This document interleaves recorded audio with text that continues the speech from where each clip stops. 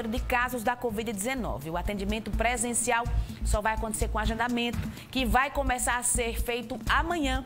Quem tiver interesse em concorrer a uma das vagas, a população deve fazer o agendamento pelo número de telefone, que é o 3214 1010. Segunda a sexta-feira, das 8 da manhã até as 5 da tarde. O Cine João Pessoa está oferecendo 175 vagas de empregos em todos os níveis de escolaridade. O Cine funciona na Avenida Cardoso Vieira, número 85, no bairro do Varadouro. Dá mais não tempo não, né? Ó, oh,